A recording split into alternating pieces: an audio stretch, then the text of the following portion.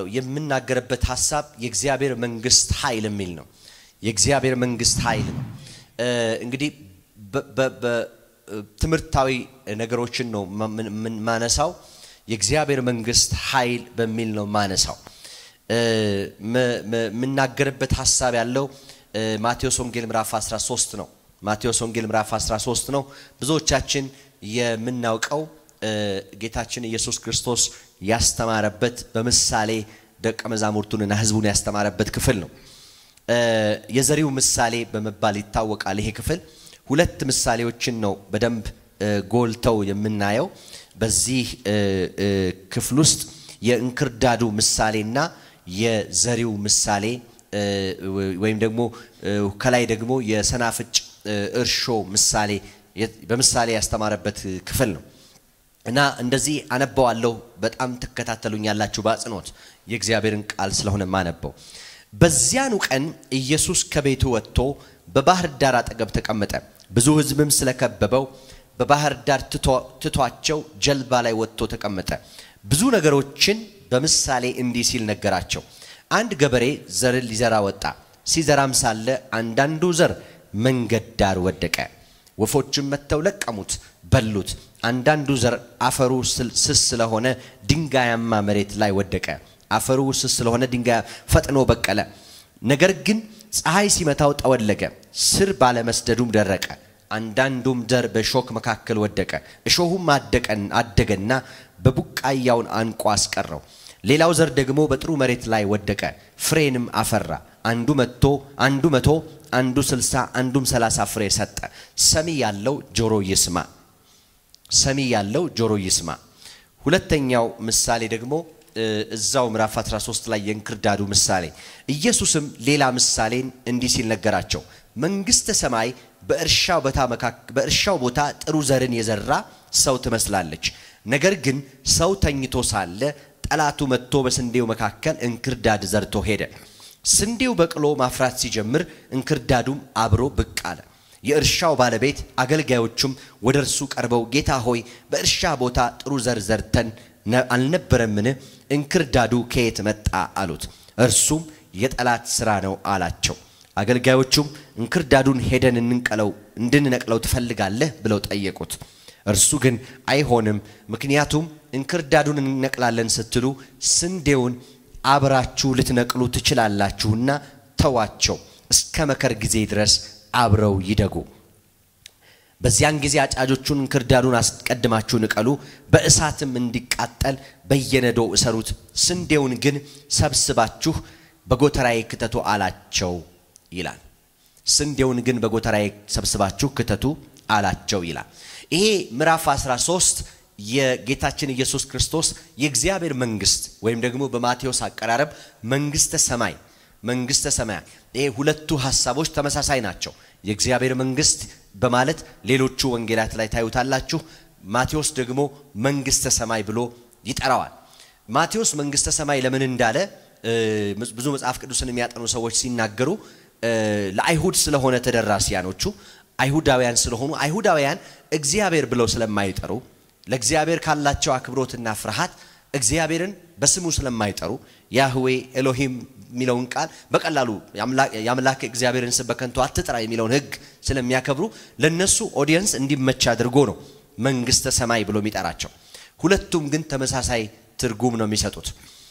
በእነዚህ አሁን ባነበብኳቸው ሁለት ምሳሌዎች የእግዚአብሔር መንግስት እንዴት እንደምትሰራ እንዴት እንደምትሰራ የእግዚአብሔር መንግስት የአሰራር ነው የሚያቀርብላቸው። በምሳሌ ጌታችን ኢየሱስ ክርስቶስ ወይም ምን ይሉታል?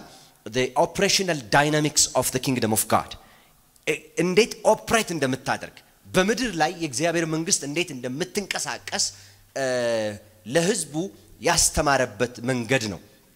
አሁን እዚህ ላይ የእግዚአብሔር መንግስት እንዴት እንደምትሰራ ነው ያስተማራቸው ስንል ለምንድን ነው በዚህ መንገድ ላይ ለማስተማር ያስፈለገበት ምክንያት የሚለውን መጠየቅ ግድ ይላል። ለምንድን ነው የእግዚአብሔር መንግስት በዚህ መንገድ ነው የምትሰራው? የእግዚአብሔር መንግስት በዚህ መንገድ እንደምትሰራ ማወቅ አስፈላጊ ነው ብሎ ለደቀ መዛሙርቱ ምሳሌውን የተናገረው ለምንድን ነው ብለን ከጠየቀን ወደ ኋላ ትንሽ ሄድ ብለን ማየት ያስፈልገናል። አጠቃላይ ታሪኩ የሚጀምረው አሁን ያነሳውላችሁ ታሪክ ምክንያቱም በዚያኑ ቀን ይላል ባሮጌው ትርጉም በዚያን ጊዜ ነው የሚለው። በየትኛው ጊዜ? አንድ የሆነ ጊዜ እንዳለ ያሳያል። አንድ የሆነ ጊዜ እንዳለ ያሳያል። በደንብ ተከታተሉኝ። በዚህ ቃል ውስጥ ዘመናችንን በዚህ ቃል ውስጥ አሁን ምድራችንን ቤተ ክርስቲያንን በደንብ ስለምናይበት ነው እግዚአብሔር የሰጠኝን መልእክት ይዤላችሁ የመጣሁት። ስለዚህ በዚያን ጊዜ ሲል አንድ ሲዝንን ያወራል፣ አንድ ጊዜን ያወራል። የሆነ ጊዜ ነበረ ማለት ነው። ያ ጊዜ የሚጀምረው ምዕራፍ አስር ላይ ነው። ምዕራፍ አስር ላይ ነው። ያ ጊዜ መቼ ነበረ ካላችሁ ምዕራፍ አስር ሄዳችሁ ቁጥር አንድ ላይ ኢየሱስም አስራ ሁለቱን ደቀ መዛሙርት ወደ እርሱ ጠርቶ ይላል ወደ እርሱ ጠርቶ ርኩሳን መናፍስትን እንዲያወጡ ደዌንና ሕማምን እንዲፈውሱ ስልጣንን ሰጣቸው። በዚያን ጊዜ ምዕራፍ 13 በዚያን ጊዜ የትኛው ጊዜ? ርኩሳን መናፍስትን ደዌንና ሕመምን ሁሉ እንዲፈውሱ ጌታችን ኢየሱስ ክርስቶስ ደቀ መዛሙርቱን ጠርቶ ስልጣን በሰጣቸው ጊዜ ይሄን ስልጣን ይዘው operate ለማድረግ በየመንደሩ በየከተማው በገቡ ጊዜ ይሄ ምዕራፍ 10 ምን ይላል? በሌላ ቋንቋ ምን ማለት ነው? በሌላ ቋንቋ ተልኮን በተቀበሉ ጊዜ mission በተቀበሉ ጊዜ ያን ጌታ የሰጣቸውን mission ይዘው ወደ ገሊላ አውራጃ ወደ ቅፍርናሆም ወደ ወደ ወደ ገሊላና በዛ ጊዜ ሰሜናዊ የሚባለው የእስራኤል ክፍል ለማገልገል በሄዱ ጊዜ በዛ ጊዜ ነው ይሄንን ጌታ ኢየሱስ ክርስቶስ ያስተማራቸው። ስለዚህ ትምህርቱ ከአንድ ሁነት በኋላ ከአንድ event በኋላ እንደሆነ ማስተዋል እንችላለን አይደለም። ምዕራፍ 13 ላይ አንድ የሆነ ነገር ተከስቶ ከተከሰተው ነገር በኋላ ነው ያወራቸው። ስለዚህ context ኡን ወይም አውዱን በደንብ ማግኘት አለባችሁ። መጽሐፍ ቅዱስን በደንብ ከተከታተላችሁ ይገባችኋል። ስለዚህ አሁን ይሄ ጊዜ መቼ ነበረ? mission በተቀበሉ ጊዜ፣ ስልጣን ተሰጥቷቸው በተላኩ ጊዜ ስለዚህ ምዕራፍ አስር ላይ አስራ ሁለቱን ደቀ መዛሙርቱን እንደጠራቸውና ይሄንን ደቀ መዛሙርቱን ጠርቶ ደግሞ mission እንደሰጣቸው ተልኮ እንደሰጣቸው ተልኮ ምን ነበረ? እርኩሳን መናፍስትን እንዲያወጡ ደዌንና ሕማሙን ሁሉ እንዲፈውሱ ተልኮ ይሄ ነው። ተልኮ የተሰጣቸው ደቀ መዛሙርት ናቸው። የተልኮ ስፍራቸው ደግሞ ይሁዳና ገሊላ በዛን ጊዜ ይኖሩበት በነበረው ስፍራ ነው። ከዚያ በኋላ የአስራ ሁለቱ ሐዋርያት ስም የሚከተለው ነው ብሎ mission የተሰጣቸውን ሐዋርያት ስም ደግሞ ይናገራል። ለትውልዳችሁ ለእድሜያችሁ ፈውስ ይሆንላችኋል። በዚያን ጊዜ mission ተቀበሉ፣ mission ን ተቀበሉ። ይሄ ክፍል በእርግጥ ከሌላ የወንጌል ክፍል ጋር በተመሳሳይ ነው ተዘግቦ የምናገኘው። ሉቃስም ይሄንን ክፍል ዘግቦታል። ሉቃስ ምዕራፍ ዘጠኝ ላይ ታሪኩን በደንብ ታገኙታላችሁ። ሉቃስ ምዕራፍ ዘጠኝ ላይ ሄዳችሁ ማየት ትችላላችሁ። በዚያ ክፍል ላይ ከዛ ስማቸውን ጠቀሰ ይላል። ምዕራፍ 11 ደግሞ እነሱም ብቻ አይደለም የላካቸው እነሱም ብቻ አይደለም የላካቸው ምዕራፍ 11 ላይ ደግሞ ምን ይላል? ኢየሱስም ለአስራ ሁለቱ ደቀ መዛሙርት ትእዛዙን ሰጥቶ ከጨረሰ በኋላ ይላል ትእዛዙን ሰጥቶ ከጨረሰ በኋላ ለማስተማርና ለመስበክ ወደ ገሊላ ከተሞች ሄደ። እነሱ ብቻ አይደለም የተሰጣቸው፣ እሱም mission ኡን ይዞ ወደ ከተሞቹ ሄደ። ስለዚህ በአንድ በኩል ደቀ መዛሙርቱ ወደ ሌላ ስፍራ ሄዱ፣ በሌላ በኩል ደግሞ ጌታ ኢየሱስ ክርስቶስ ራሱ ወደ ሌላ ቦታ ሄደ። ስለዚህ በዚያን ጊዜ በአጭር ቃል አስቀምጠው ካላችሁኝ ይህንን የሐዋርያዊ ተልእኮ ጉዞ ነው። apostolic mission apostolic mission ሶስት ዓመት ተኩል ከእሱ ጋር ከቆዩ በኋላ ካስተማራቸው በኋላ መንፈስን ካካፈላቸው በኋላ አካሄድን፣ አደራረግን፣ መንገድን፣ ህይወትን ከሰጣቸው በኋላ አሁን is a time የሚሽን ጊዜ ነው። የተልእኮ ጊዜ ነው። ሂዱና አጋንንትን አውጡ፣ ሂዱና ርኩሳን መናፍስት ያለባቸውን ደዌዎችን ሁሉ ፈውሱ አላቸው። እነሱ በዚህ በኩል እሱ በዚህ በኩል ሄደ ይላል። የዚህ አሁን ያነሳውላችሁ ታሪክ የሚያበቃው የሚያበቃው በማቴዎስ አዘጋገብ በማቴዎስ አዘጋገብ ምዕራፍ 14 የመጀመሪያዋ ቁጥር ላይ ነው የሚያበቃው። ምዕራፍ 14 የመጀመሪያዋ ቁጥር ላይ ነው የሚያው ቅድም ያነሳውላችሁ ምዕራፍ 13 ነው። እሱ ላይ እንዳትረሱ እመለሳለሁ። ምዕራፍ 14 ላይ ምዕራፍ 14 ላይ ልክ ቁጥር አንድ ላይ ሲጀምር ምን ይላል? በዚያን ጊዜ አሁንም ይኸውላችሁ ቅድምም ብያቸዋለሁ። ምዕራፍ 13 ላይ በዚያን ቀን በዚያን ጊዜ አሁን አንድ ሲዝን አለ። የሆነ አንድ ታሪክን እያነሳ ነው የሚያወራላቸው። በዚያን ጊዜ የትኛው ጊዜ ላይ? የትኛው ጊዜ ላይ ሐዋርያዊ ተልእኮን ተቀብለው በይሁዳ ከተሞች በገሊላ አውራጃዎች በዚያ እነሱ ይኖሩበት በነበረው አካባቢ ወንጌልን እየሰበኩ በነበረበት ጊዜ በዚያን ጊዜ የአራተኛው ክፍል ገዢ የነበረው ሄሮድስ ይላል ስለ ኢየሱስ ዝና ሰማ ይላል። በቃ እዚህ ጋር ነው የሚያበቃው ታሪኩ። climax ኡ ጣሪያው የዚያን ጊዜ የዛ season ጣሪያው እነዚያ አስራ ሁለት ደቀ መዛሙርት ከጌታችን ከኢየሱስ ክርስቶስ እግር ስር ቁጭ ብለው ይማሩ የነበሩ መንፈስን ይካፈሉ የነበሩ ስልጣን ተሰጥቷቸው ደግሞ ወንጌልን በመንደር ሁሉ በአውራጃዎች ሁሉ ይሰብኩ የነበሩ እነዚያ ሐዋርያቱ የሰበኩት ኢየሱስ ዝናው ሄሮድስ ጋር ገባ። ዝናው ቤተ መንግስት ገባ። that was the climax of the season የ season ኡ የመጨረሻ climax ሄሮድስ ስለ ኢየሱስ ሰማ ይላል። ክብር ለእግዚአብሔር ይሁን። ስለዚህ አሁን ከነገርኳችሁ ከምዕራፍ 10 ከምዕራፍ 11 እና ከምዕራፍ 14 ታሪክ ስትነሱ ምን መውሰድ ትችላላችሁ? ደቀ መዛሙርቱ ኃይለኛ revival ላይ ነበሩ revival በሉ እስቲ። ስለዚህ ጌታችን ኢየሱስ ክርስቶስ ያስተማራቸውን ደቀ መዛሙርት ተልእኮን ሰጣቸውና ሐዋርያዊ mission ን ሰጣቸውና ወደ መንደሮቹ ሁሉ ላካቸው። ስለዚህ ገሊላ ተናውጣለች። ከተሞች ተናውጠዋል። ቅፍርናሆም ተናውጧል። ምንድን የተናወጠው? አጋንንቶች እየወጡ ነው። ኢየሱስ በዚህ ጋር ደቀ መዛሙርቱ በዚህኛው አቅጣጫ የጌታን የእግዚአብሔርን መንግስት ወንጌል ነው። ስለዚህ ከዚህ ጊዜ በኋላ አንድ እንዲያውቁት የፈለገው ነገር ያለ ይመስለኛል። እና back to basics ያላቸው ይመስለኛል። አሁን ይሄንን season የምታዩበትን መነጽር እንድታስተካክሉ በዚህ መነጽር እንድታስተካክሉ መሀል ላይ ምዕራፍ 13ን ከተተ። መሀል ላይ ምዕራፍ 13 ማብቂያው ላይ ማለት ነው። in fact መጨረሻ ላይ mission ኡ ተሰጥቷቸው ተመልሰው ሲመጡ ቁጭ በሉ አለና አሁን የእግዚአብሔርን ቃል አፉን ከፍቶ ማስተማር ጀመረ። የእግዚአብሔርን መንግስት ሰበከላቸው። የሚገርማችሁ እዚሁ ይሄ ምዕራፍ ዘጠኝ ሉቃስ ላይ ያልኳችሁ አንድ ጊዜ ትሄዱልኝና ምዕራፍ ዘጠኝ ቁጥር ሉቃስ ላይ ማቴዎስ አራት ምዕራፍ ሰጥቶ የዘገበውን ማቴዎስ አራት ምዕራፍ ሰጥቶ ምዕራፍ 10 ምዕራፍ 11 ምዕራፍ 12 እና 13 አራት ምዕራፍ ሰጥቶ የዘገበውን ሉቃስ ግን በአጭር አረፍተ ነገር ነው የዘጋው። የሁለቱ አጻጻፍ ይገርማል። ተመሳሳይ ታሪክ ለማቴዎስ አራት ምዕራፍ ይወስዶበታል። ለሉቃስ ግን አራት መስመር ነው የፈጀበት።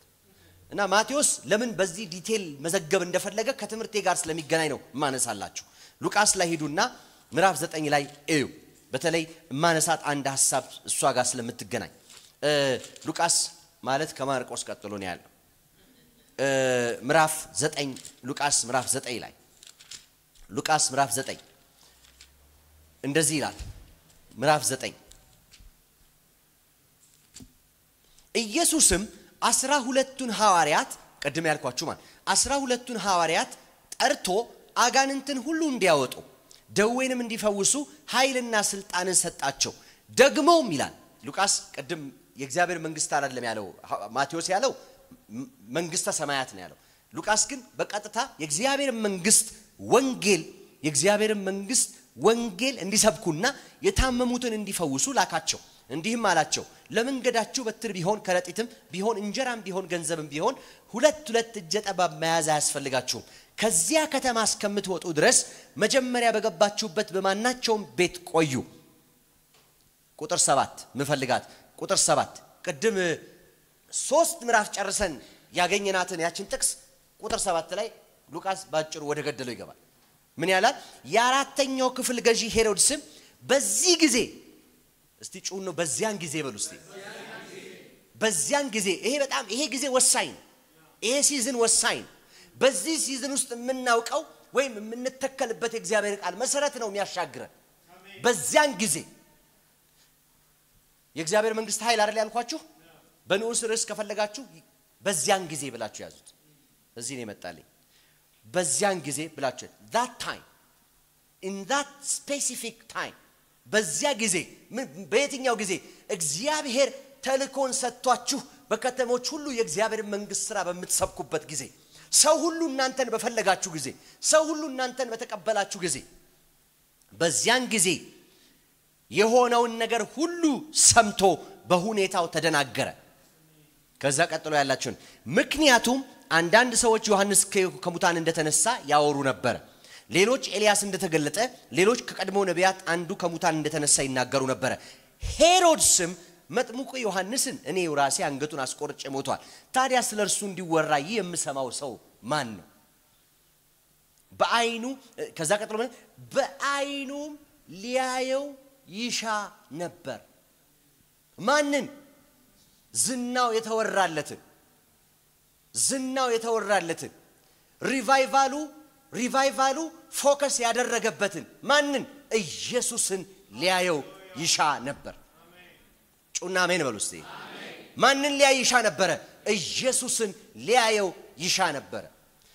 አሁን ጌታ ኢየሱስ ክርስቶስ ለምንድን ነው ይሄን ምሳሌ የነገራቸው ወደሚለው ሀሳብ ልምጣ። ለምንድን ነው የሆነ season ውስጥ እንዳሉ ገብተናል አይደለም? የሆነ revival ውስጥ እንዳሉ አውቀናል። ታዲያ በዛ revival ውስጥ የግዚያ አንዳንድ ጊዜ ደቀ መዛሙርቱ እንዲያውቁት የፈለገው እንዲያስተውሉት የፈለገው ነገር ምንድን ነው ካልን እግዚአብሔር አጋንንቶች የወጡልን ጊዜ እግዚአብሔር እርኩሳን መናፍስቶች የወጡልን ጊዜ እግዚአብሔር ድውያን የተፈወሱልን ጊዜ እግዚአብሔር በአገልግሎታችን ብዙ ተአምራትና ድንቆችን ባየን ጊዜ ብቻ የሚሰራ መስሎ የሚሰማን ጊዜ አለ። እግዚአብሔር የእግዚአብሔር መንግስት አሰራሯ በእናንተ ስኮፕ ውስጥ በእናንተ ጠባብ ጭንቅላት ውስጥ ብቻ የምትገደብ አይደለችም። የእግዚአብሔር መንግስት በዚህኛውም መንገድ ይሰራል፣ በዚያኛውም መንገድ አይሰራ ላይሰራ ይችላል። በዚህም ይሰራል፣ በዚህም ይሰራል።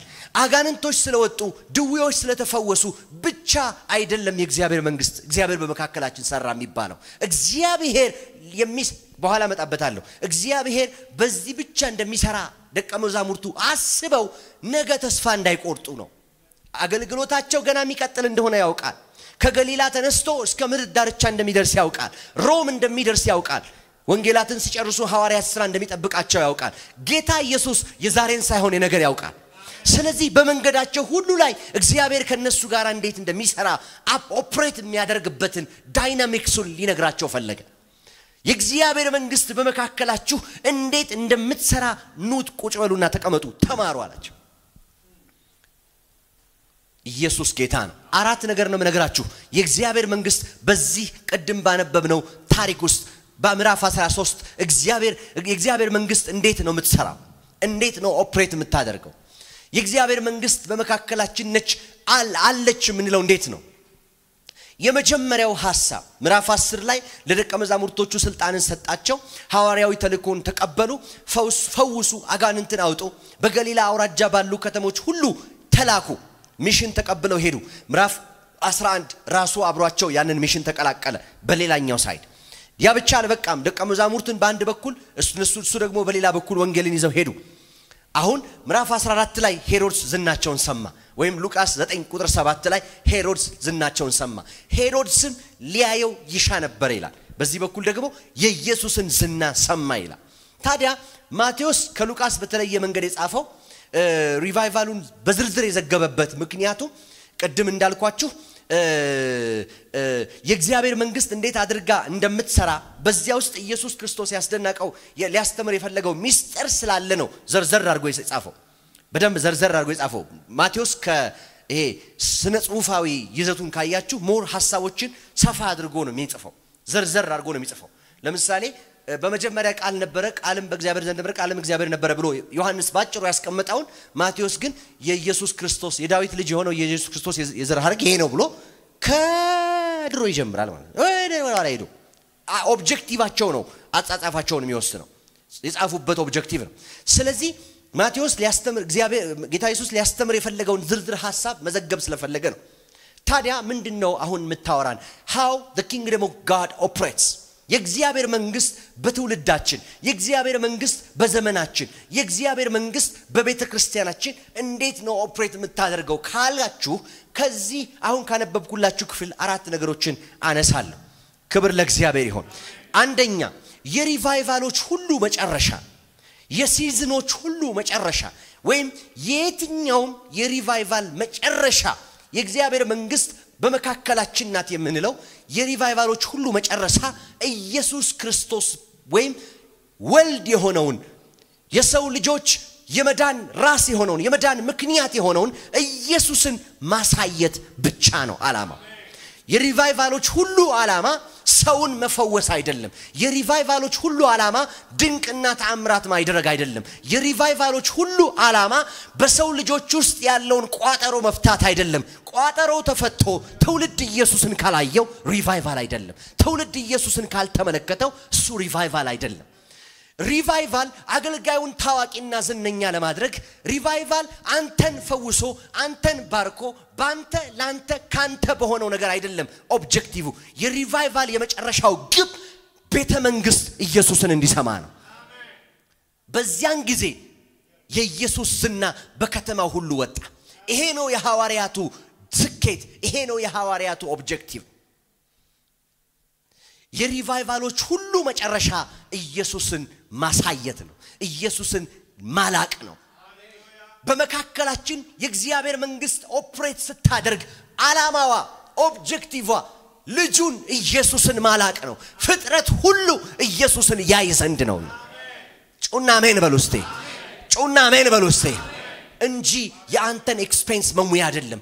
revival የአንተን ጓዳ ጥያቄ መሙያ አይደለም። revival ኢየሱስን ለከተማ ማሳያ ነው። ኢየሱስን ለምድር ማሳያ ነው። ኢየሱስን ትውልድ ያይ ዘንድ ነው። ሃሌሉያ። ያን ጊዜ ይላል፣ ያን ጊዜ ሄሮድስ የኢየሱስን ዝና ሰምቶ ኢየሱስን ሊያየው ይሻ ነበረ ይላል። ክብር ለእግዚአብሔር ይሆን። ኧረ ጩሁና አሜን በሉ እስቲ። ጩሁና በደንብ አሜን በሉ እስቲ። ይሄንን ናፍቆቴ ይሄ ነው ረሃቤ። የሚዲያ መነጋገሪያ አይደለም የምትሆነው። revival ባንተ ሲመጣ፣ revival በከተማ ሲሆን፣ revival በምድር ሲሆን፣ እግዚአብሔር በመካከላችን ሲሰራ፣ operate ሲያደርግ ኢየሱስ ከፍ ይላል። ኢየሱስ ያላቀበት፣ ኢየሱስ ከፍ ያላለበት፣ እሱ ያልገነነበት፣ እኛ በሱ ፋንታ የእሱን ቦታ ይዘን የገነንበት revival revival አይደለም። objective the climax of የ revival የመጨረሻ ግብ ኢየሱስን ማሳየት ነው። አጠገባችሁ ያለውን ሰው ገፋ አድርጉትና የ revival ሁሉ መጨረሻ ኢየሱስን ማሳየት ነው በሉት። ሃሌሉያ! በደንብ ጩና አሜን በሉ እስቴ። በደንብ ጩና አሜን በሉ እስቴ። አያችሁ ምልክቶችና ድንቆች እግዚአብሔር በክርስቶስ ወደኛ የመጣበትን ዓላማ ካላሳዩ በራሳቸው ግብ አይደሉም። ለምን? መጽሐፍ ቅዱሳችሁን ሄዳችሁ ስታዩ በወንጌላት መካከል ብዙ ተአምራት ሆኗል። ብዙ ድንቅ ሆኗል። ብዙ ለምጻሞች ነጭተዋል። ብዙ ድውያኖች ተፈውሰዋል። ስልጣን ተሰጥቷቸው ስልጣናቸውን ተጠቅመው ብዙ ነገሮች ሆነዋል በከተማው በመንደሩ ሁሉ። ነገር ግን የነሱ ሱፍ መቀየሪያ አይደለም የሆነው። የ revival ኡ objective ሄሮድስ ደነገጠ፣ ተደናገረ ይላል። ክብር ለእግዚአብሔር ይሁን። ሄሮድስ ደነገጠ፣ ተደናገረ ይላል። ከተማ ኢየሱስን ሲያይ፣ ምድር ኢየሱስን ስታይ፣ ያን ጊዜ ነው ኢየሱስ በምድር ላይ ነገሰ፣ ኢየሱስ በምድሬ ላይ መጣ የምንለው። እንዳትሸወዱ ወንድሞች፣ እንዳትሸወዱ። አፉን ከፍቶ አስተማራቸው፣ በምሳሌ ነገራቸው። የእግዚአብሔር መንግስት የዘሪውን ምሳሌ ትመስላለች። ስለዚህ መጀመሪያው ልናውቀው የሚገባ ነገር ምልክቶችና ድንቆች ተአምራቶች አስፈላጊ ቢሆኑም ነገር ግን objective ኣቸው ኢየሱስን ማሳየት ነው። ክብር ለእግዚአብሔር ይሁን። ወደዚህ ቤተ ክርስቲያን ስትመጡ በሁለቱም አቅጣጫ የቤተ ክርስቲያኒቱ አድራሻ ተጽፎ ታገኛላችሁ። በታችኛውም በላይኛው ያ ምልክት ነው እንጂ ቸርቹ አይደለም። ወደዚህ የምትመጡት ያን ምልክት አይታችሁ ነው። ምልክቶች ማለት በወንጌላት ውስጥ ስነ መለኮታዊ አይታችሁን ስታዩ ምልክቶች ማለት ጠቋሚ ናቸው። signs and wonders ናቸው። ኢየሱስን የሚያሳዩ ናቸው። ክብር ለእግዚአብሔር ይሁን። ስለዚህ እዛው ጋር ከቀራችሁ ቤተክርስቲያን አልመጣችሁ። ቤተክርስቲያን መጣችሁ የሚባለው እዚህ compound ውስጥ ገብታችሁ አገልግሎቶቹን ስትጠቀሙ ነው። ምልክቶቹ ጋር ቆማችሁ ግን church ነበርኩ ዛሬ ብትሉ አይሆንም። ስለዚህ የ revival የመጨረሻ objective ምንድን ነው? ኢየሱስን ማላቅ ነው፣ ከፍ ማድረግ ነው። ክብር ለእግዚአብሔር ይሁን። በደንብ ጩና አሜን በሉ እስቲ። ዕብራውያን ምዕራፍ ሁለት ላይ አንድ ቃል ላንብብና ወደ ሁለተኛው ሀሳብ ይሄዳለሁ። ዕብራውያን ምዕራፍ ሁለት ላይ የእግዚአብሔርን ቃል አውጡና ያችን ቃል ባነብ ደስ ይለኛል። ዕብራውያን ምዕራፍ ሁለት ላይ ዕብራውያን ምዕራፍ ሁለት እንደዚህ ይላል፣ ስለዚህ ከሰማነው ለቀን እንዳንሄድ ለሰማነው ነገር አብልጠን ልንጠነቀቅ ይገባናል። ምክንያቱም በመላእክት በኩል የተነገረው ቃል ጽኑ ከሆነና ማንኛውም መተላለፍ፣ አለመታዘዝ አለመታዘዝ ተገቢውን ቅጣት ከተቀበለ እኛስ እንዲህ ያለውን ታላቅ ድነት ቸል ብንል እንዴት ልናመልጥ እንችላለን? ይህ ድነት ይላል። ይህ ድነት በመጀመሪያ በጌታ ተነገረ፣ ከእርሱ የሰሙትም ለእኛ አረጋገጡልን። በመጀመሪያ ከጌታ ተነገረ፣ ከእርሱ የሰሙትም ለእኛ አረጋገጡልን። እግዚአብሔርም እችን ቃል ስሙ። እግዚአብሔርም በምልክትና በድንቅ በምልክት በድንቅና በልዩ ልዩ ተአምራት እንዲሁ እንደ ፈቃዱ በታደሉት የመንፈስ ቅዱስ ስጦታዎች ስለዚሁ ነገር ምን አድርጓል? መስክሯል። this is the bible የኔ መጽሐፍ ቅዱስ ምልክቶችና ድንቆች ስለ ኢየሱስ ካላወሩ ስለ ኢየሱስ ካልተናገሩ ስለ ኢየሱስ ካልመሰከሩ ምልክቶችና ድንቆች የትም ቦታ ሊደረጉ ይችላሉ። የመጀመሪያው የምልክቶቹና የድንቆቹ objective ከላይ ምንድን ነው የሚለው? ትኩረት ስለሚያስፈልጋቸው ነገሮች ነው የተናገረው። our focus should be Jesus፣ ትኩረታችን ኢየሱስ ሊሆን ይገባል። ስለዚህ ደቀ መዛሙርቱ I think እንዲያውቁ የፈለገው ነገር ትኩረታቸው ምልክቱ ላይ እንዳይሆን፣ ትኩረታቸው ድንቅና ተአምራቱ ላይ እንዳይሆን የፈለገ ይመስለኛል። focus አችሁ ኢየሱስ ይሁን። በደንብ ጩኹና አሜን በሉ እስቲ። ትኩረቴ ኢየሱስ ነው በሉ ትኩረታችን ኢየሱስ ይሁን። ትኩረታችን ኢየሱስ ይሁን። የአፍሪካን ወንጌል የበረዘው ትኩረቶች ከኢየሱስ ላይ ስለተነሱ ነው። ከኢየሱስ ላይ ተነስተው ምልክትና ድንቅ አድራጊው ላይ ሆነዋል። ይሄ ወንጌል አይደለም። ይሄ እውነተኛ የእግዚአብሔር መንግስት ሀሳብ አይደለም። that's not how the kingdom of God operates እንደዚህ አይደለም የእግዚአብሔር መንግስት operate የምታደርገው። የእግዚአብሔር መንግስት operate የምታደርገው ኢየሱስን ከፍ እያደረገች ነው። በደንብ አሜን በሏ። ክብር ለእግዚአብሔር ይሆን፣ ክብር ለእግዚአብሔር ይሆን። ሁለተኛ ሁለተኛ revival ወይም ደግሞ የእግዚአብሔር መንግስት እንዴት operate እንደምታደርግ ሲናገር revival ቅድም እንዳልኳችሁ በሚታይ መንገድ ብቻ ሳይሆን በማይታይ ወይም በጸጥታ ውስጥም ሊሰራ ይችላል። revival በሚታይ ብቻ ሳይሆን በማይታይ ነገር ውስጥም ሊሰራ ይችላል። revival እኛ በምናስበው በምናውቀው ውስጥ ብቻ አይደለም። revival በማይታይ ነገር ውስጥም ሊሰራ ይችላል። ማንም የማያያት ማንም የማያያት የዘሪው ምሳሌ ማንም የማያያት አንዲት ቅንጣት ዘር በምድር ላይ ተዘርታ ሰው ሁሉ ላያያት ይችላል። ራሱ የዘራው ሰውዬ እንኳን ተመልሶ መጥቶ ቢፈልጋት ላያገኛት ይችላል። ነገር ግን ያቺ ዘር ፍሬ ስታፈራ ሁሉ ያያታል፣ ሁሉ ይመለከታታል። አንዳንዴ እግዚአብሔር በሚታይ በሚዳሰስ ብቻ ሳይሆን በማይታይ መንገድም በጸጥታ ውስጥም እግዚአብሔር ይሰራል። በዝምታ ውስጥም እግዚአብሔር ይሰራል።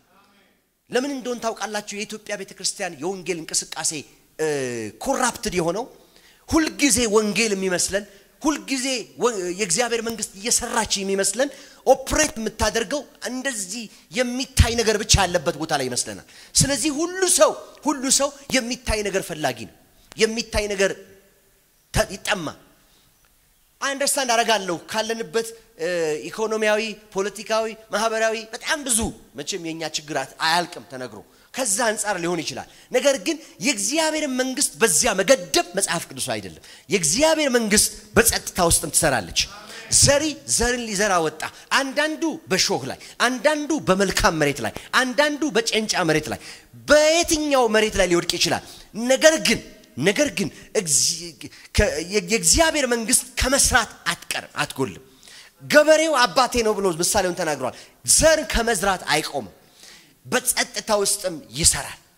ሪቫይቫል ሁልጊዜ በሚታይ ነገር ብቻ ውስጥ እንደሆነ ካሰብን ከእግዚአብሔር ሀሳብ ጋር ልንተላለፍ እንችላለን። ክብር ለእግዚአብሔር ይሁን። በደንብ ጩና አሜን በሉ እስቲ። በደንብ ጩና አሜን በሉ እስቲ። ማርቆስ አራት ቁጥር 26 ላይ ይሄንኑ ሀሳብ ነው የሚያነሳው። ከዚያም እንዲህ አለ፣ የእግዚአብሔር መንግስት ይህንን ትመስላለች። አንድ ሰው መሬት ላይ ይዘራል። ሰውየው ሌሊት ይተኛል፣ ቀን ይነሳል። ነገር ግን ሳያውቅ ያ ዘር በቅሎ ያድጋል። ምድርም ራሷ በመጀመሪያ ቡቃያውን ቀጥሎም ዛላውን ከዚያም በዛላው ላይ የጎመራ ፍሬ ታስገኛለች።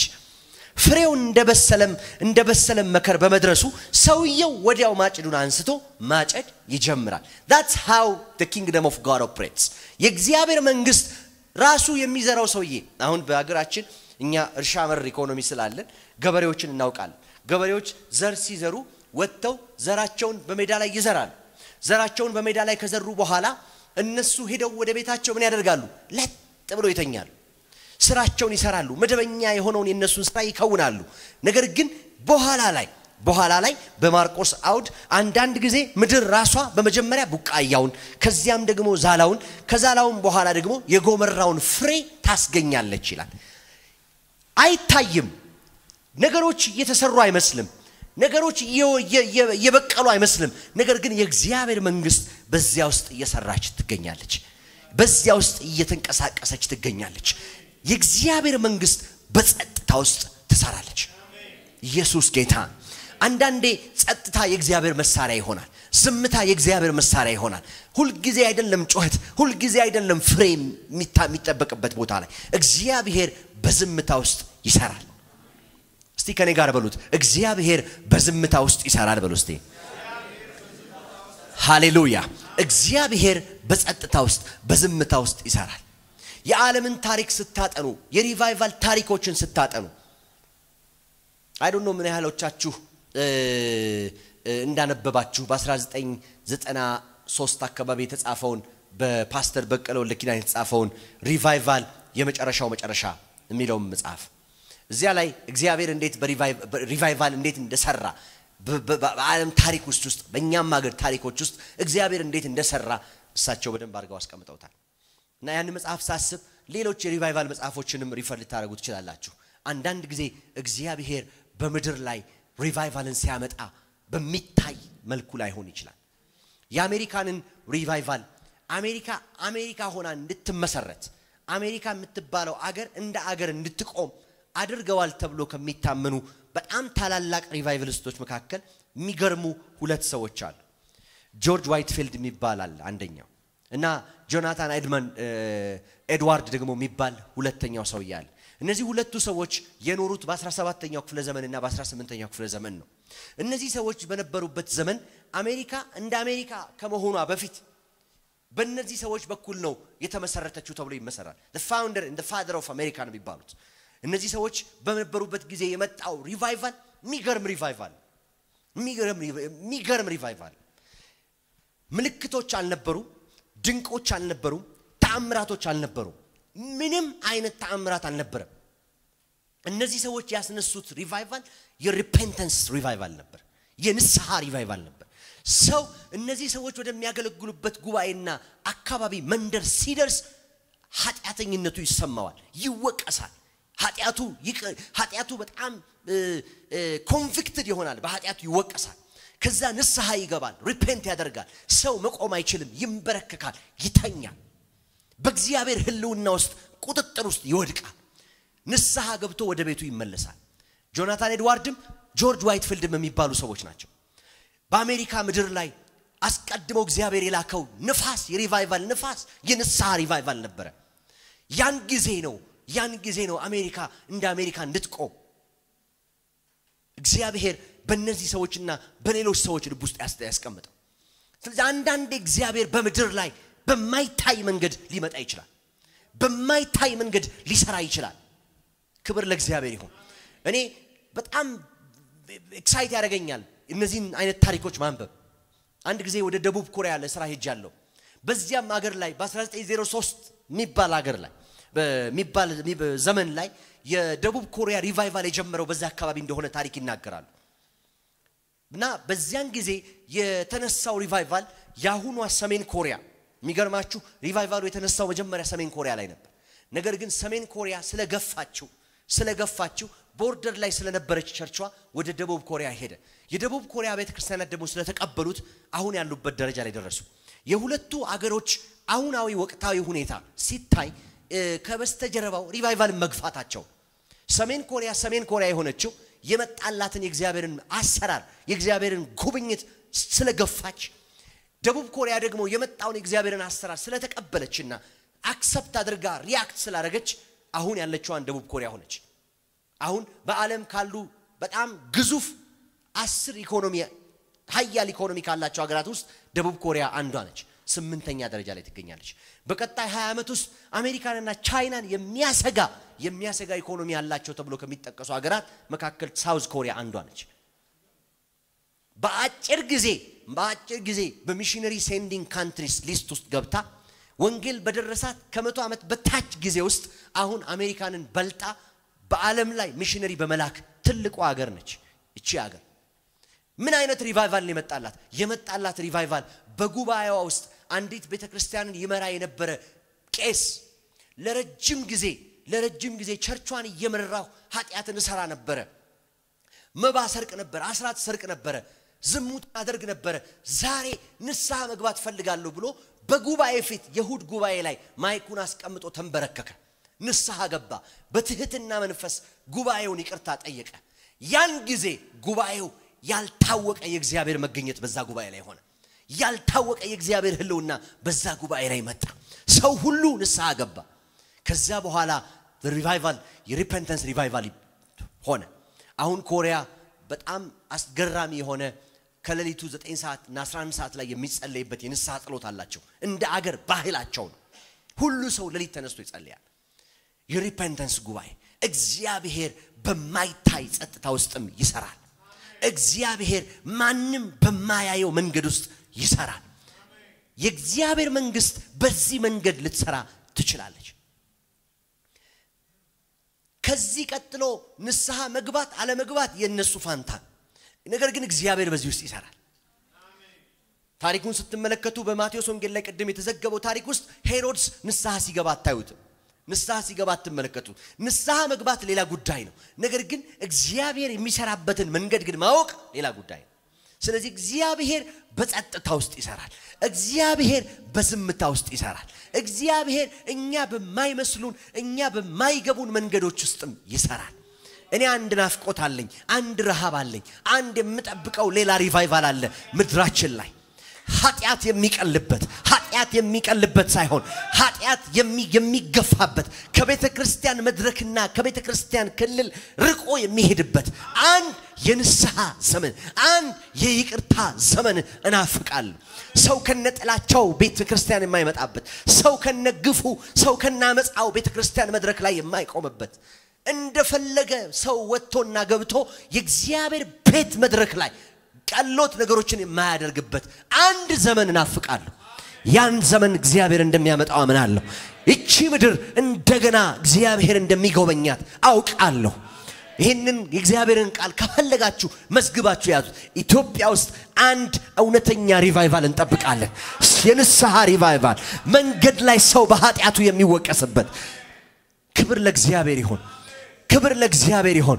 ኮንቪክትድ የሚሆንበት ኃጢአቱ የሚወቀስበት ሃሌሉያ። ዛሬማ ቤተ ክርስቲያን ውስጥም ቁጭ ብሎ ኃጢአተኝነቱ አይወቀስም ሰው። ይሄ ዘመን እንዲያበቃ ጸልያለሁ። ሃሌሉያ።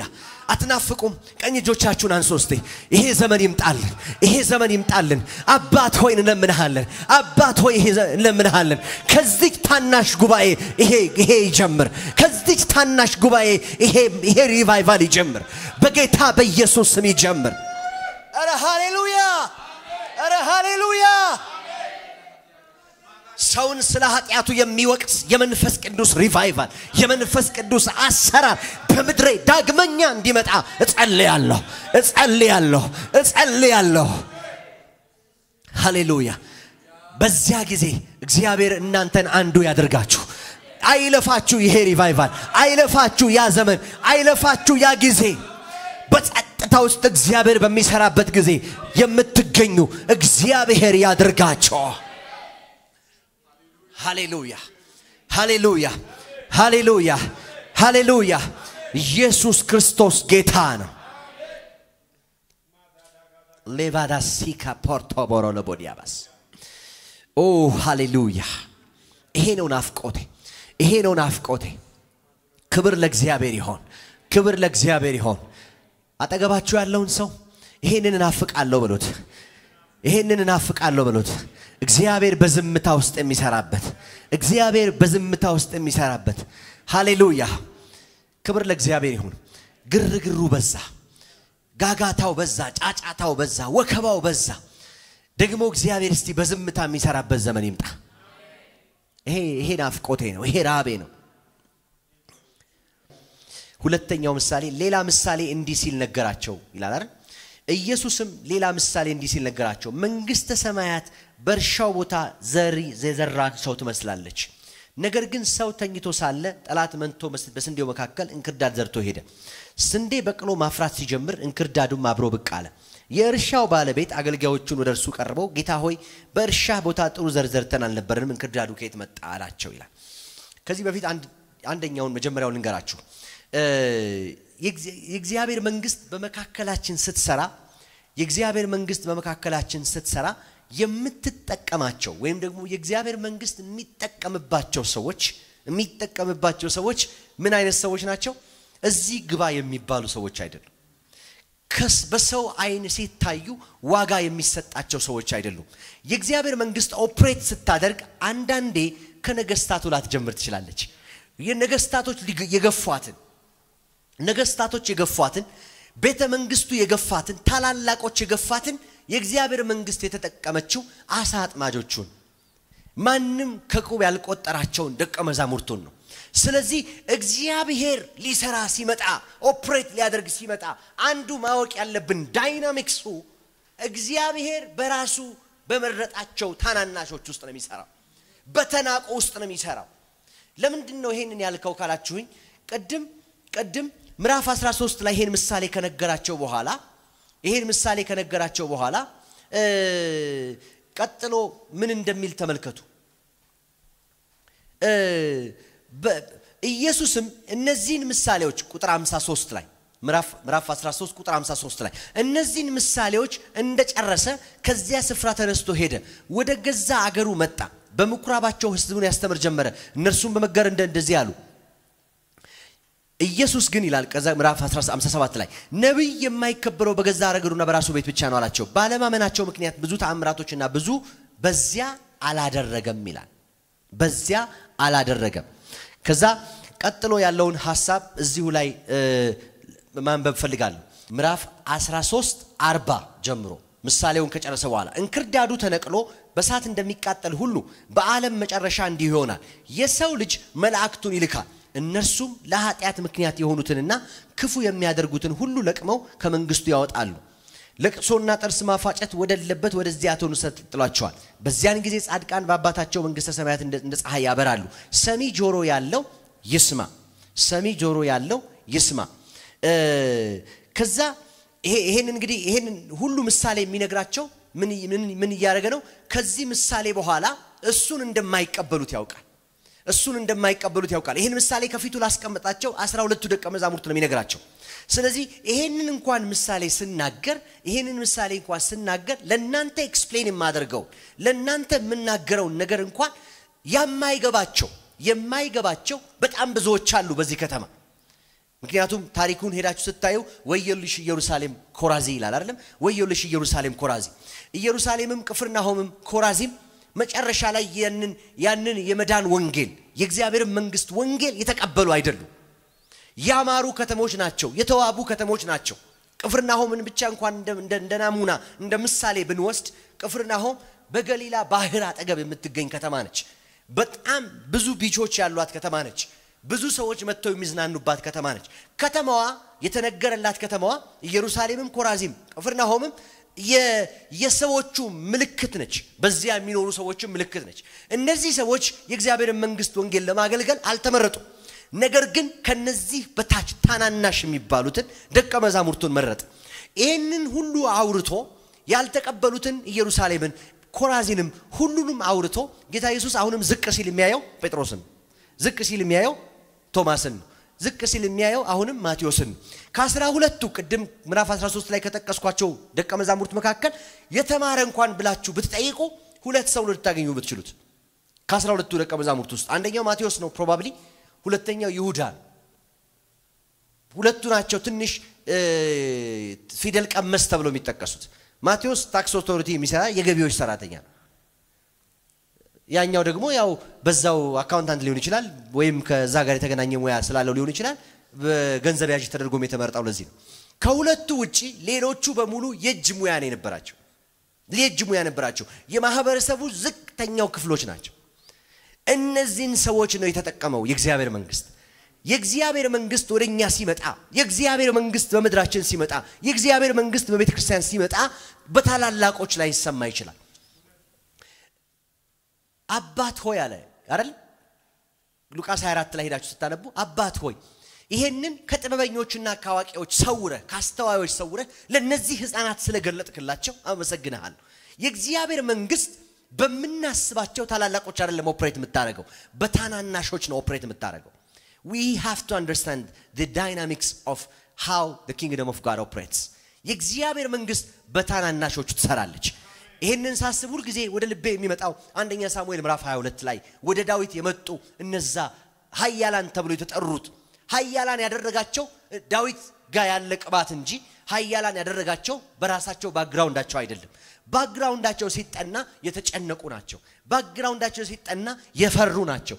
ባክግራውንዳቸው ሲጠና ዕዳ ያለባቸው፣ ብድር ያለባቸው፣ መክፈል ያቃታቸው ተበዳሪዎች ናቸው። ነገር ግን የተጨነቁትን ሀያላን የሚያደርግ የዕዳ ያለባቸውን ሀያላን የሚያደርግ የእግዚአብሔር መንግስት በእኛ ላይ ነበረ። ሃሌሉያ! ክብር ለእግዚአብሔር ይሁን። የእግዚአብሔር መንግስት ወደ አንተ ሲመጣ kingdom of God በአንተ ሊሰራ ሲመጣ ያንተን background አይቆጥርም፣ ያንተን ማንነት አይቆጥርም፣ ያንተን ትምህርት አይቆጥርም። የእግዚአብሔር መንግስት በታናናሾች ይሰራል። ሃሌሉያ! ከዛ በኋላ all the way Acts ን መጽሐፍ ቅዱሳችሁን ስታነቡ ሐዋርያት ሥራ ምድር የተደረሰችው በታናናሾች በደንብ ጩና አሜን በሉ እስቲ። በደንብ ጩና አሜን በሉ እስቲ። እግዚአብሔር መልካም አምላክ ነው። እግዚአብሔር መንግስቱን ሲልክ ወደ ምድር ሲልክ እዚህ ግቡ በማይባሉ ሰዎች ነው የሚሰራው። አሜን። እግዚአብሔር በምን ይሰራል? በታናናሾች ይሰራል። ቅድም ባልኳችሁ ማንም ሰው ማንም ሰው ከግምት ውስጥ በማይከታት ዘር በጣም ትንሽዬ ዘር እግዚአብሔር ሊሰራ ይችላል። ምድርን የሚሸፍን እርሻ ሊያረጋት ይችላል። ስለዚህ የዘሪው ምሳሌ ዘሩን ትንሽነት አይታችሁ እንዳትንቁ። ዘር የሚለካው በፍሬው እንጂ ውስጡ ባለው የማፍራት አቅም እንጂ ዘር የሚለካው በዘሩ ብቻ አይደለም። በዘሩ volume ም value ም ካያችሁት ትንሽ ነው። ነገር ግን በፍሬው ከለካችሁት፣ መጨረሻ ላይ በሚያፈራው ውጤት ከለካችሁት ግን ያን ጊዜ አስተሳሰባችሁ፣ አመለካከታችሁ ይቀየራል። ኢየሱስ ክርስቶስ ጌታ ኢየሱስ ክርስቶስ ጌታ ነው። አጠገባችሁ ያለውን ሰው እንደዚህ በሉት፣ እግዚአብሔር ስራውን የሚሰራው በታናናሾች ውስጥ ነው በሉት። ሃሌሉያ ሃሌሉያ። ክብር ለእግዚአብሔር ይሆን፣ ክብር ለእግዚአብሔር ይሁን። ሃሌሉያ። እንግዲህ ቁጥር 25 ላይ ቅድም እንዳልኳችሁ ይህንን ከጥበበኞችና ከአስተዋዮች ሰውረህ ለህፃናቱ ስለገለጥክላቸው ለህፃናት ስለገለጥክላቸው አመሰግንሃለሁ ብሎ ጨረሰ። ኢየሱስ ክርስቶስ ጌታ ነው። ኢየሱስ እርሱ ጌታ ነው። ክብር ለእግዚአብሔር ይሆን፣ ክብር ለእግዚአብሔር ይሆን። እስቲ በእኔ ይሰራል በሎ እስቲ፣ በእኔ ይሰራል በሎ እስቲ፣ ሁኔታዬን አልፎ ይሰራል በሎ እስቲ፣ ማንነቴን አልፎ ይሰራል እስቲ። ክብር ለእግዚአብሔር ይሆን፣ ክብር ለእግዚአብሔር ይሆን። የእግዚአብሔር መንግስት በምድር ላይ ኦፕሬት ስታደርግ ስትንቀሳቀስ በታናናሾች ነው የምትሰራው። እዚህ ግቡ በማይባሉ ሰዎች ነው የምትሰራው። ክብር ለእግዚአብሔር ይሁን። ስለዚህ ዛሬ ምናልባት በሰናፍጭ ቅንጣት ታክል የምታክል ዘር በእጃችን ልትኖር ትችላለች። ሳንንቅ በትጋት diligently እቺን ዘር ከዘራን እቺን ዘር በምድር ላይ ከዘራን እንደ ገበሬው ታምነን እጃችንን ከዘረጋን እግዚአብሔር ፍሬን ይሰጣታል። እግዚአብሔር ምድርን ያወርሳታል። ኢየሱስ ክርስቶስ ጌታ። በእጃችሁ ያለውን ማንኛውም ጥቂት እውቀት፣ ጥቂት skill፣ ጸጋ፣ የትኛውንም ነገር እግዚአብሔር እንዲጠቀምበት ከእናንተ መተው ብቻ ነው የሚጠበቀው። leave yourself ለእግዚአብሔር ራሳችሁን ስጡ። ያን ጊዜ እግዚአብሔር በእናንተ ውስጥ ይሰራል። operate ማድረግ ይጀምራል። መንቀሳቀስ ይጀምራል። ክብር ለእግዚአብሔር ይሆን። ክብር ለእግዚአብሔር ይሆን። አንዳንድ ጊዜ በእውቀታችን፣ አንዳንድ ጊዜ በገንዘባችን፣ አንዳንድ ጊዜ በኃይላችን የምንታመን ከሆነ እግዚአብሔር በዛ ውስጥ የለም። በወጀብ ውስጥ አይደለም። እግዚአብሔር በታላላቅ ጩኸቶች ውስጥና ግርግሮች ውስጥ አይደለም ያለው። እግዚአብሔር ራሳቸውን ታምነው ኮሚትድ ሆነው ለእግዚአብሔር አሳልፈው በሰጡ ሰዎች ውስጥ ነው የሚሰራው። አሜን። አቅም የእግዚአብሔር ነው። ጉልበት የእግዚአብሔር ነው። ችሎታ የእግዚአብሔር ነው። ጸጋ የእግዚአብሔር ነው። ክብር ለእግዚአብሔር ይሆን። ክብር ለእግዚአብሔር ይሆን። ካጨበጨባችሁ በደንብ አጨብጭቡ። ክብር ለእግዚአብሔር ይሆን። ኢየሱስ ክርስቶስ ጌታ። ችሎታ አላችሁ፣ ጸጋ አላችሁ፣ ክህሎት አላችሁ። በዛ ግን እናንተ አታምኑም። እግዚአብሔር እንደዚህ ይላችኋል። የእግዚአብሔር መንግስት የምትሰራው በታናናሾች ውስጥ ነው። አስቡት እስቲ ኢየሩሳሌም ሳይገለጥላት፣ ኮራዚ ሳይገለጥላት፣ ቅፍርናሆም ሳይገለጥላቸው፣ ማንም ሳይገለጥለት ለነዚያ እዚህ ግቡ ለማይባሉ አስራ ሁለት ብላቴኖች የእግዚአብሔር መንግስት ሚስጥር ተገለጠላቸው። የእግዚአብሔር መንግስት ሚስጥር ተገልጦላቸው ለተገለጠላቸው እውነት ታማኝ ሆነው መሮጥ የጀመሩ ጊዜ ያን ጊዜ ከነሱ ጋር አብሮ መስራት ጀመረ፣ መንቀሳቀስ ጀመረ። ክብር ለእግዚአብሔር ይሆን። እግዚአብሔር ሊሰራ ሲመጣ አቅምህን ሳይሆን አቅሙን አይቶ፣ ችሎታህን ሳይሆን ችሎታውን አይቶ፣ ያንተን ገንዘብ ሳይሆን የእሱ ጋር ያለውን ምድር የኔ ናት የሚለውን ምድርና ሞላዋ የኔ ናት የሚለውን አቅሙን ታምኖ በአንተ ውስጥ ይሰራል። እግዚአብሔር ይችላል። እግዚአብሔር ይችላል። አሜን በሎ እስቴ። የመጨረሻውና አራተኛው አራተኛው የእግዚአብሔር መንግስት እንዴት ትሰራለች? የእግዚአብሔር መንግስት እንዴት ትሰራለች? ምዕራፍ 13 ቁጥር 38 ላይ እንደዚህ ይላል፣ እርሻውም ይህ ዓለም ነው፣ ጥሩ ዘር የእግዚአብሔር ልጆችን መንግስትን ልጆች ያመለክታል ይላል። የእግዚአብሔር መንግስት ልጆች ያመለክታል ይላል። የእግዚአብሔር መንግስት ልጆች ያመለክታል። ከርዕሳችን እንዳንወጣ በደንብ አስቡ። የእግዚአብሔር መንግስት እንዴት ትሰራለች ነው እያልን ያለ ነው። እንዴት ነው የምትሰራው? የእግዚአብሔር መንግስት ኦፕሬት አደራረግ ማወቅ ነው እያስተማርን ያለ ነው። ምዕራፍ 13 ላይ በምሳሌዎች ውስጥ ነው እያየን ያለ ነው። የመጀመሪያው የ revival ኦች ሁሉ ultimate ግብ ኢየሱስን ማሳየት ነው። ስለዚህ የእግዚአብሔር መንግስት በመካከላችን ስትገለጥ ዓላማዋ objective ኧ ኢየሱስን ከፍ አድርጎ ማሳየት ነው። ሄሮድስም ሊያየው ይሻ ነበረ በሚለው ማለት ነው። ሁለተኛው ያ ብቻ ሳይሆን ሁለተኛው የእግዚአብሔር መንግስት በዚህ ውስጥ ብቻ ሳይሆን የምትሰራው የእግዚአብሔር መንግስት ሪቫይቫል በሚታይ መልኩ ብቻ ሳይሆን በማይታይ በጸጥታ ውስጥም ይሰራል። በጸጥታ ውስጥም ይሰራል። ዘሪ ዘርን ሊዘራ ወጣ፣ ማንም አላየም። ዘር ተዘራ። ነገር ግን ከዛ በኋላ ዘሩ ሲበቅል ነው የታየው። ዘሩ ሲበቅል ነው የታየው። ስለዚህ በማይታይ በጸጥታ ውስጥም እግዚአብሔር በህይወታችን፣ በቤተ ክርስቲያናችን፣ በምድራችን ይሰራል። ሶስተኛ ይሄ ብቻ ሳይሆን እግዚአብሔር ከዚህም ደግሞ ባለፈ ከዚህም ደግሞ ባለፈ በምን መልኩ ይሰራል አለን? የእግዚአብሔር መንግስት ሲመጣ ሊሰራ ሲመጣ በታናናሾች ውስጥ ሰዎች ባስቀመጡት መስፈርት በሚቀበሏቸው በኩል አይደለም ይሰራው። ደቀ መዛሙርቱን መመልከት ትችላላችሁ። ደቀ መዛሙርቱን መመልከት ትችላላችሁ። ለምንድን ነው ይሄንን ያለው? ቅድም እንዳልኳችሁ በጸጥታ ውስጥ ይሰራል ስል ድዊው ተፈውሶ አጋንንት ወጥቶ ሄሮድስም ንስሐ ላይገባ ይችላል። ስለዚህ ተስፋ እንዳይቆርጡ የእግዚአብሔር መንግስት በጸጥታ ውስጥም ሊሰራ እንደሚችል ማወቅ አለባችሁ አላቸው። ሄሮድስ ራሱ ንስሐ ባይገባ እግዚአብሔር ግን ሰርቷል። አንዳንዴ በአገልግሎታችን ብዙ ፍሬዎችን ካየን በኋላ ነገር ግን በነዛ ፍሬዎች ውስጥ ግን የምንጠብቀውን ውጤት ደግሞ ላናገኝ እንችላለን እና ያ ውጤት እግዚአብሔር የለም ማለት ላይሆን ይችላል። እግዚአብሔር የለም ማለት ላይሆን ይችላል። እግዚአብሔር በጸጥታ ውስጥም ስለሚሰራ። ሶስተኛ የእግዚአብሔር መንግስት ስትመጣ በታናናሾች ትሰራለች። አራተኛውና ዋናው point ግን ምን አለ? ምን አለ? ጥሩ ዘር የእግዚአብሔር መንግስት ልጆችን ይወክላል ይላል። የእንክርዳዱ ምሳሌ ትርጉም ሲነግራቸው የእንክርዳዱ ምሳሌ ትርጉም ሲነግራቸው ምንድነው ዘሪው? ኢየሱስም ሌላ ምሳሌ ነገራቸው። መንግስተ ሰማያት በእርሻው መካከል ጥሩ ዘርን የዘራ ሰው ትመስላለች። ጥሩ ዘርን የዘራ ትመስላለች። ስለዚህ ይሄንን ምሳሌ ሲፈታላቸው ዘሩ እናንተ ናቸው አላቸው። የእግዚአብሔር መንግስት ልጆች ናቸው። ዘሩ ዘሩ እናንተ ናችሁ። እንክርዳዱ ደግሞ የዚህ ዓለም አምላክ ተብሎ የተጠራ ነው። የዚህ ዓለም አምላክ ነው። ስለዚህ እንክርዳዱ በጊዜው ይነቀላል። እንዴት ነው የሚነቀለው? የእግዚአብሔር ልጆች እየበዙ ሲሄዱ የእግዚአብሔር ልጆች የጽድቅ ተጽዕኖ እያመጡ ሲሄዱ ያን ጊዜ እንክርዳዱ በራሱ ጊዜ እየተነቀለ ይመጣል። አያችሁ፣ የእግዚአብሔር መንግስት በምድር ላይ አሁን ኦፕሬት የምታደርገው ልክ በዘሪው ምሳሌ ጥሩ ዘር ወጥቶ በእርሻው መካከል እንደዘራው ገበሬ ከሆነ ዘሩ ደግሞ ወይም ጥሩ ዘር ደግሞ የእግዚአብሔር መንግስት ልጆች ናቸው ከተባለ እኔና እናንተ የእግዚአብሔር ዘሮች ነን። ወይም ደግሞ we are the seed of the kingdom የመንግስቱ ዘር ነን። ስለዚህ እግዚአብሔር አንዳንዶቻችንን ትምህርት ቤት ውስጥ ይዘራናል። አንዳንዶቻችንን መስሪያ ቤት ውስጥ ይዘራናል። አንዳንዶቻችንን ቀበሌ፣ ክፍለ ከተማ፣ ገቢዎች ይዘራናል። እንደኔ ደግሞ እየሰራችሁ የምታገለግሉ ከሆናችሁ በአመራር ስፍራ እግዚአብሔር ስፍራን የሚሰጣችሁ ከሆነ እግዚአብሔር የመንግስቱን ልጆች በእርሻው መካከል ስለሚዘራ እንደኔ በአመራር ስፍራ ላይ ትዘራላችሁ። ስለዚህ ስትሰሩ ልክ እንደ እግዚአብሔር ልጆች ልክ እንደ እግዚአብሔር መንግስት ልጆች እንደ ጥሩ ዘር ምሳሌ ራሳችሁን እንደ ዘር ቁጠሩ። እንክርዳዱን በእናንተ እንደሚያስቆመው አስቡ። እንክርዳድ አለ፣ አዎ አለ፣ ኃጢአት አለ፣ አመፃ አለ፣ ሴሰኝነት አለ፣ ግልሙትና አለ፣ ሌብነት አለ፣ ሙስና አለ። ሰው አመፀኛ ነው። በዛ system ውስጥ እግዚአብሔር ግን እኔን ዘርቶኛል።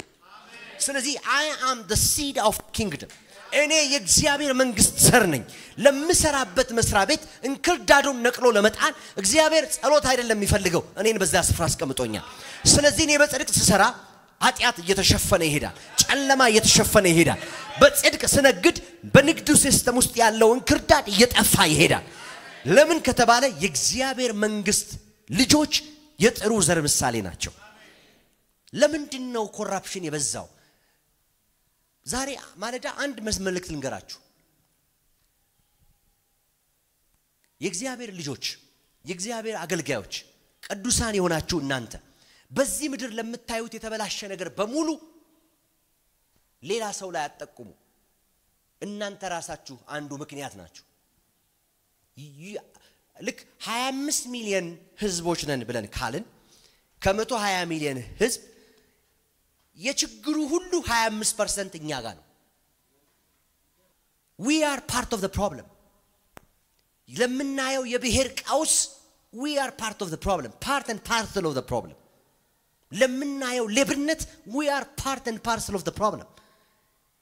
እግዚአብሔር መንግስቱን ሊዘራ ሲፈልግ የእግዚአብሔር መንግስት ልትሰራ ስትፈልግ ጥሩ ዘር ተብሎ የተዘሩት ከእንክርዳዱ ጋር ተመሳስሎ ካገኘ በማን ይስራ? አንተም አማራ አማራ ብለህ ኦሮሞ ኦሮሞ ብለህ ከተቧደንክ እንዴት እግዚአብሔር ይስራ በዚህ ምድር ላይ? እንዴት ኦፕሬት ታድርግ የእግዚአብሔር መንግስት? ስለዚህ እኛም የችግሩ አካል ነው። ዛሬ እስቲ ራሳችሁን እንደ መፍትሄ አካል ቁጠሩና እኔ እግዚአብሔር በዚች ምድር ላይ የዘራኝ ጥሩ ዘር ነኝ፣ እንክርዳዱን በእኔ ይነቅለዋል ብላችሁ እመኑ። እግዚአብሔር ምስክሬ ነው። እግዚአብሔር በጥቂቶች በአስራ ሁለቱ ምድርን ከደረሰ በሀያ ሚሊዮን ይችላል። the problem is እኛም እዛ ውስጥ ነን ያለ ነው። ኢትዮጵያ የማትለወጠው ቤተ ክርስቲያን ስላልተለወጠች ነው። the solution ኢትዮጵያ የማትቀየረው ቤተ ክርስቲያን ስላልተቀየረች ነው። ኢትዮጵያ የማትድነው መሪዎች ስላልዳኑ ነው። ዛሬም ፓስተሮች በዘር ጭንቅላታቸው ተይዘዋል። ዛሬም ቄሶች በቋንቋ በብሔር ጭንቅላታቸው ተይዘዋል፣ ተቧድነዋል። ስለዚህ እግዚአብሔር ሊሰራ ሲመጣ እንክርዳዱም ዘሩም አንድ አይነት ነው። እንዴት operate ያደርጋል? ሊሰራ አይችልም። ስለዚህ ጥሩ ዘር የእግዚአብሔር መንግስት ልጆች ናቸው ከተባለ ዛሬ ወደ position ኣችን እንመለስ። እንደ ጥሩ ዘር ለመንቀሳቀስ እንደ ጥሩ ዘር ለመስራት እንሞክር። ስለዚህ ህጉን የማይፈቅደውን ነገር ኢትዮጵያ ውስጥ ደግሞ ማለፊያ መንገድ አለ። አንድ አፍሪካዊ አብሮኝ የሚሰራ ሰው አለ። in Ethiopia ይለኛል nothing is impossible nothing is possible ይለኛል። ኢትዮጵያ ውስጥ የማይቻል ነገር የለም፣ የሚቻል ነገር የለም ይለኛል። እና ምንም ነገር ይቻላል እንደማለት ነው። እና ይህም ወንድማችን እንደሚቻል ያውቃል ማለት ነው። ስለዚህ እንክርዳዱ ተመሳስሎ ከፍሎ ሊያዞር ማለት ነው። እንዴት ነው ታዲያ ኢትዮጵያ ውስጥ ሌብነት የሚቆመው? እንዴት ይቆማል? ምክንያቱም እኛም የመንግስቱ ልጆች ጥሩ ዘር ምሳሌ የሆን ነው። እኛም እዛ ውስጥ ተዘፍቀን ካለን ይህ አሁን መሬት ስለሆነ ነው ብላችሁ አታስቡ። መሬት ስለሌለኝ በዚህ አልታማም ብላችሁ አታስቡ። መኪና የምንነዳ ሰዎች ታውቃላችሁ፣ በጣም በቀላሉ ለትራፊክ ጉቦ መስጠት አንድ ሌላ በጣም የምንወደው ወዳጃችን አለና እንደዚህ ግንባታ ሊያካሂድ ፈልጎ ቸርቹ ነው ቸርቹ እና የእኛ አጥቢያ ነው ሌላ ቦታ ነው እና ቀበሌዎች ከለከሉት እና ደውሎ እንደው ምናምን ይለኛል ምንድን ነው ስለው የፍቅር ስጦታ ብሰጣቸው ጥሩ ነው አለኝ ስሙን ቀይሮት ማለት ነው። የፍቅር ስጦታ ነገር ብሰጣቸው ጥሩ ነው በጣም መንፈሳዊ አድርጎት ማለት ነው። እና የፍቅር ስጦታ አድርገው የሚሰጡ ብዙ ሰዎች አላቸው። simply እና የእግዚአብሔር መንግስት operate የምታደርገው በእኛ በኩል ነው። ዘር በሆንነው በእኛ በኩል ነው። ስለዚህ የመንግስቱ ልጆች ናቸው ጥሩ ዘር ተዘሩት። እግዚአብሔር ባስቀመጠ በየትኛውም ስፍራ ላይ በየትኛውም ቦታ ላይ በየትኛውም ቦታ ላይ ዘር እንደሆን ካስበህ እንክርዳዱን ባንተ እንደሚነቅለው አስበህ ከተንቀሳቀስክ እግዚአብሔር ባንተ revival ያመጣል። that's what revival means። ድንቆች ተአምራቶች ብቻ አይደለም፣ እናንተ ናችሁ ዘር እያላቸው ነው ደቀ መዛሙርቱን። እናንተን እልካቸዋለሁ፣ ዘር አድርጌ በምድር ሁሉ ላይ በትናቸዋለሁ፣ በእናንተ ምድር እንደርሳለሁ። ክብር ለእግዚአብሔር ይሁን። አጠገባቸው ያለውን ሰው እንደዚህ በሉት፣ አንተ የእግዚአብሔር መንግስት ዘር ነህ በሉት። ሃሌሉያ! በደንብ በሉታ። አሜን። እግዚአብሔር ዘር አድርጎ ትምህርት ቤት ውስጥ አስቀምጦሃል። እግዚአብሔር ዘር አድርጎ መስሪያ ቤት ውስጥ አስቀምጦሃል። ክብር ለእግዚአብሔር ይሁን። እኔ በምሰራበት ቦታ እኔ በምሰራበት ቦታ የሚያውቁኝ ጥቂት ሰዎች ስላሉ በእነሱ ፊት ነው የምመሰክርላችሁ። በምሰራበት ቦታ ላይ እኔ officially ነው በነገራችን ላይ የ full time አገልጋይ አይደለሁም። የሙሉ ጊዜ አገልጋይ አይደለሁም። የሙሉ ልብ አገልጋይ ነኝ እና እየሰራው ነው ጌታን የማገለግለው እና ጌታን እየሰራው በማገልገሌ በጣም ኩራት ይሰማኛል። አንደኛ በምሰራበት ቦታ እግዚአብሔር ብዙ ተአምራትና ድንቅን ሲያደርግ አይቻለሁ እና officially ነው officially እኔ ኢሜይል ሲደርሰኝ ፓስተር ፍጹም ተብዬ ነው የሚላክልኝ። ፓስተር ፍጹም ተብሎ ለምን ሚኒስትር አይሆንም? ለምን ምንም አይሆንም? ሲያናግረኝ ፓስተር ፍጹም ብሎ ነው የሚጠራኝ። ምክንያቱም በዚያ አካባቢ የኖርኩት ህይወት ነው ምስክርነቴ። ኑሮ የሱ ነው። እግዚአብሔር ረድቶኝ በጥቂቱ በጥቂቱ ይሄንን አይቻለሁ። በጥቂቱ ይሄን አይቻለሁ። ይሄንን በጌታ ፊት ነው የምነግራችሁ። boldly በጣም በድፍረት ነው የምነግራችሁ እና detail መናገር ስለማልፈልግ ነው። እግዚአብሔር ዘር አድርጎ አስቀምጧችኋል። wherever you are የትም ቦታ ላይ ካላችሁ እናንተ የእግዚአብሔር መንግስት seed ናችሁ፣ ዘር ናችሁ። እንደ ጥሩ ዘር ከተንቀሳቀሳችሁ ከኖራችሁ በህይወት ምሳሌነት ከተንቀሳቀሳችሁ እግዚአብሔር በእናንተ በኩል እንክርዳዱን ይነቅለዋል። ለዚህ ነው አትንቀሉት አለ። በራሱ ጊዜ ይነቀላል። እግዚአብሔር በእኔ እንክርዳዱን ይነቅላል። በአንቺ እንክርዳዱን ይነቅላል። በእናንተ እንክርዳዱን ይነቅላል። በማህበረሰብ መካከል እግዚአብሔር ያስቀመጣችሁ የእግዚአብሔር መንግስት ምሳሌዎች ናችሁ። የእግዚአብሔር መንግስት ዘሮች ናቸው። ኢየሱስ ጌታ ኢየሱስ ጌታ ነው። ቅድም እንዳልኳችሁ እግዚአብሔር በዝምታ ውስጥ በጸጥታ ውስጥ የሚሰራበትን ዘመን እናፍቃለሁ እንዳልኳችሁ በምድሬ አንድ ነገር እናፍቃለሁ። ቅዱሳን ቅዱሳን በሁሉ ስፍራ እኔ ጌታ ኢየሱስ ክርስቶስን እንደ ግል አዳኝ አድርጌ በተቀበልኩበት ዘመን የዛሬ 22 23 ዓመት አካባቢ አስታውሳለሁ። መርካቶ የሚነግዱ ሰዎች ደውለው የሚጠይቁት ጴንጤ ላክልኝ፣ cashier እፈልጋለሁ። cashier position explicitly ለጴንጤ የተያዘ ቦታ ነበር። ምክንያቱም ታማኞች ነበሩ። ጴንጤዎች ታማኞች ናቸው። በፍጹም ገንዘብ አይነኩ። የዛሬውን ምስክርነት ለእናንተ ልተወው። አሁን ምስክርነት እዚህ company ያላችሁ ሰዎች እኔ personally አቁም ያለው ጴንጤ መቅጠር አቁም ያለው 2900 ሰራተኛ አለ በስሬ አንድ ጴንጤ በጴንጤነቱ ሚዛን መዝኜ ቀጥሬ አላቅም። merit based ነው የማደርገው። በጣም ብዙ በዲሲፕሊን ጉድለት የማባራቸው ሰራተኞች አብዛኞቹ ጴንጤዎች ናቸው። አብዛኞቹ አብዛኞቹ አመታዊ turnover ኡን የማገለግል እኔ የምሰራበት የማገለግልበት መስሪያ ቤት አገልጋይ ስለሆንኩ እዛ ማለት የማገለግልበት መስሪያ ቤት ከአራት ነጥብ አምስት አምስት ቢሊዮን turnover ውስጥ ነው። ኢትዮጵያ ውስጥ ካሉ platinum tax payer ኦች ውስጥ አምስቱ አንዱ ነው እና በዛ company ውስጥ እግዚአብሔርን ሳገለግል ብዙውን ጊዜ የክርስቲያኖች ምስክርነት ጥሩ አይደለም። ለምንድን ነው የሆነው ብዬ ሳስብ ሰው የበላውን ነው የሚመስለው። church ይመጣል፣ ትባረካለህ ይባላል። church ይመጣል፣ ለራሱ የሚያስፈልገውን ጸሎት እንደ ቆሎ ታድሎ ይሄዳል። በእግዚአብሔር ቃል እውነት ላይ አለት ላይ አልተመሰረተም። ስለዚህ ኃላፊነት እንዳለበት ክርስቲያን የተነገረው ነገር የለም። ስለዚህ ደስ እንዳለው ነው የሚኖረው። እንደፈለገ ነው የሚኖረው። እንደፈለገ ነው የሚኖረው። it's obvious በጣም ግልጽ ነው። ከወጣቶች ጋር ብዙ ጊዜ ስለማሳልፍ ወጣቶች ሁለት እጮኛ መያዝ normal ነው። በጣም normal ነው። አንዱን ለገንዘብ አንዱን ለመልክ አይደል? በጣም በቃ simple ነው። ይሄኛው አንዷ እንደዚህ ብላኛለች። ለ counseling ወጣት ናት ሳገለግላት በእንትኑ ተሸፍኖ ነው ያለው እንትኑ dating ተብሎ ማለት ነው። በ dating ተሸፍኖ ነው። ለምን እጮኝነት ቀርቷል ታውቃላችሁ። date እያረኳቸው ነው የሚባለው አይደል? date እያረኩ ነው እና ግን እኮ already ብዙ መንገድ ተኪዷል እኮ አታውቁም እንዴ? dating ምንድን ነው? dating ማለት እንትን ቴምር እንዳይመስላችሁ ብዬ ነው። እና በ dating ተሸፍኖ ሁለትም አንደኛው ጡንቻው ደስ ይላል six pack አለው ምናምን ብላ ለ six pack ነው የያዘችው። two pack ኡን ደግሞ ለገንዘብ ነው የያዘችው። that's how they live ወጣቶች መካከል በጣም it's normal። የእኛ ወጣቶች መካከል normal ነው። ይሄ ይሄ ህይወት ነው ወደ መሬት ወደ መያዝ መምጣት ያለበት። we have to go back to basics ወደ እውነተኛው መሰረት መመስረት አለብን። እንዲህ አይነት ምጥጥ ያለ ስር የሰደደ የእግዚአብሔርን ቃል እውነት ለወጣቶቻችን ለተማሪዎቻችን መንገር አለብን። በቤተ ክርስቲያን መድረኮቻችን ላይ መስበክ አለብን። የእግዚአብሔር መንግስት ዘር ነን። ስለዚህ በትውልዱ ላይ የተዘራን ዘሮች ነን። አሜን። እንክርዳዱን በእኛ ነው የሚነቅለው፣ እንክርዳዱን በእኛ ነው የሚያነሳው።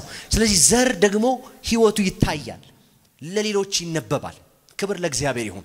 በዚህ ልክ እንድንመላለስ እግዚአብሔር ይርዳን። በደንብ ጩና አሜን በሉ እስቴ። ኢየሱስ ክርስቶስ ጌታ ነው። ኢየሱስ እርሱ ጌታ ነው። ስለዚህ የእግዚአብሔር መንግስት እንደ ቤተሰብ፣ እንደ ግለሰብ፣ እንደ ቤተ ክርስቲያን፣ እንደ ምድር እንዴት እንደምትሰራ ማወቅ በጣም ይጠቅመናል። የመጀመሪያው የትኛውም ሪቫይቫል የትኛውም ድንቅ ተአምራት ምልክት ዓላማው ኢየሱስን ማሳየት ነው። ክብር ለእግዚአብሔር ይሁን። ሁለተኛው እግዚአብሔር በጸጥታ ውስጥ እግዚአብሔር በዝምታ ውስጥ ይሰራል። ክብር ለእግዚአብሔር ይሁን። ሶስተኛው እግዚአብሔር ሊሰራ ሲመጣ criteria ው እሱ ባስቀመጠው ታናናሾችን ነው የሚሰራው። ህፃናትን ነው የሚጠቀመው። በሰው አይን በሰው መስፈርት እዚህ ግባ የማይባሉትን ሰዎች ነው የሚጠቀመው።